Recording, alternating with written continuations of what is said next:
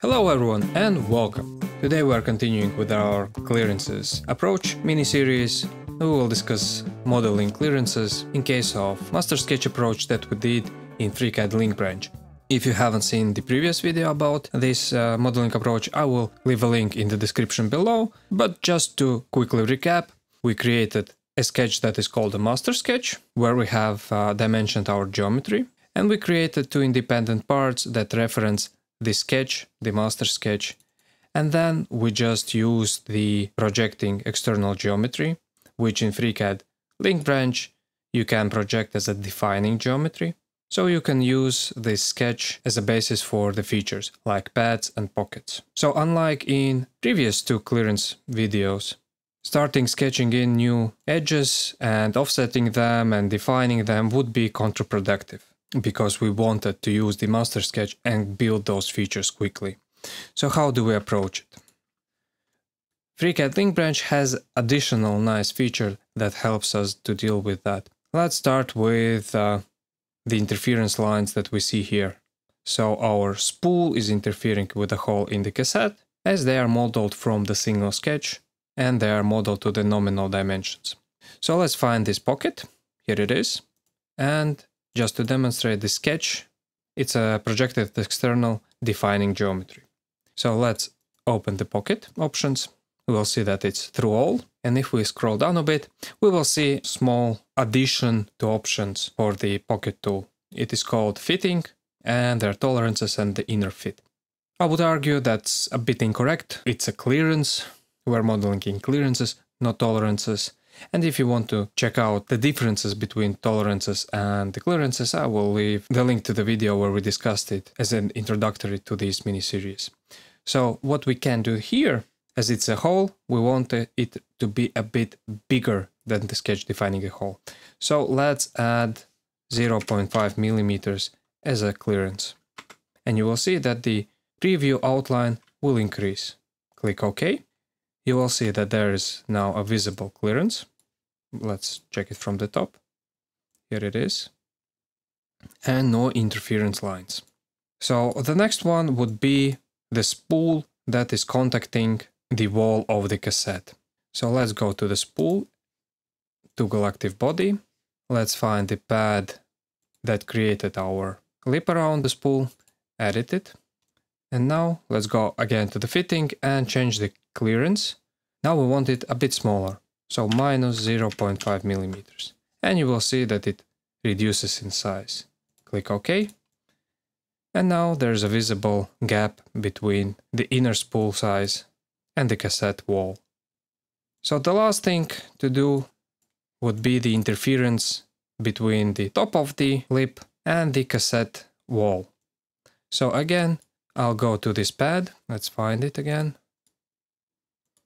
Here it is. And let's find our sketch. So this is our sketch. It's highlighted in green. And we see that we started from the top and went down to the datum plane.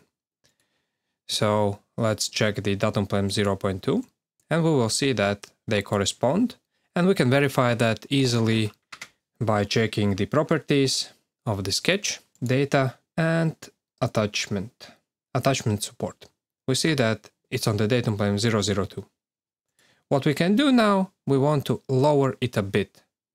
So we can just take our sketch, attachment offset for the axis and position. So it's Z axis, it's okay. And let's make a minus 0.2 millimeter offset. And now we have created some clearance between the top of the lip and the cassette body from the top as well as previously from the walls of the cassette and the hole where the spool goes through. Now, while we're at it, let's look at some additional features that FreeCAD Link Branch brings to the pad and to the pocket tools. For that, let's just open a new FreeCAD Link Branch window and create new sketch on top plane. And I will just create two circles and click close. I will do the same in the FreeCAD release candidate 2, the latest available version. So let's create a new sketch on top plane And let's sketch same two circles. The dimensions don't matter because it's just for a demonstration. And click OK. So now let's just pad it. 10 millimeters, that is fine. Now let's go back to our FreeCAD link branch and click pad as well. Let's fit it on the screen a bit better. Okay, so the first thing you will notice is visual side of things. So I prefer this transparent outline of the preview than the full geometry. However, you will see that there are new options that are not available in FreeCAD, and there are a lot more of them. So first of all, the operation. The additive pad, we can convert it to subtractive pad, and we will have a pocket operation. However, you can create new shapes, and you can create intersecting Boolean shapes as well. So we have more flexibility with these tools. But let's go back to additive. Dimension is fine. And let's go to the taper options because these are quite nice as well. FreeCAD 1.0 has the taper as well. And let's set the taper angle for, let's say, 30 degrees. So we can see it clearly. Let's go to the body view and make it a bit more transparent so we can see the inner workings of our operation.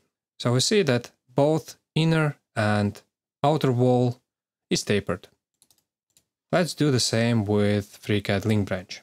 Let's say that the angle will be 30 millimeters. First, you will see that it behaves a bit different. This went tapering parallel and this went inverse for these walls. And you will see that we cannot change anything except for the angle itself. However, in FreeCAD link branch, we can disable the auto angle and let's set it to zero. And you will see that we have tapered only outside of our model. If we want to, we can go 30 degrees and we will have the same result as we had in FreeCAD. Or we can taper only inside of our model and have this hole tapered. And then, as we saw previously, we operated with tolerances. However, the nice thing is that with the closed loops, you can take the tolerance for the outside and, for example, edit. And you can configure the inner fit as well. Let's make the hole smaller. So inner fit, let's make it minus 5 millimeters. And you will see that the inner hole contracted as well. Now, we need to discuss where it works good and where it doesn't really work. So as you notice, this is a closed profile. We have a nice ring around it. Click OK. So it's nice solid body with continuous walls. Where it doesn't work so great would be if we take our example spool here. Let's disable spool itself. Let's take the cassette to go the active body and let's take our pad for the cassette body. You will see let's check it from the top, that we have an interruption in our profile. So if we would try to configure the inner fit, it won't recognize this hole as an inner hole. So if we change the inner fit, like minus one millimeter, nothing will work. However, for outer clearance, it will still work. Let's add one millimeter. You will see that it will even merge it. Let's maybe make it smaller, zero, minus 0.3 will impact all the outside because there's no inner fit, there's only outside wall. So what are the benefits of this clearance approach? The benefits are that you can use the master sketch approach in FreeCAD link branch and add your clearances when you need them, where you need them. So I would usually go and change the pockets and add the tolerances to the pocket. Now to make it more visible that you have made the tolerance adjustment, just rename it and add the amount of clearance you have added, so 0.5 millimeters. And at a glance you will see which features you have added the clearance to. So I hope you found this video useful and let me know if you already figured out additional applications of these features in FreeCAD Link Branch that we can use to model our designs. Don't forget to like and subscribe and see you in the next one.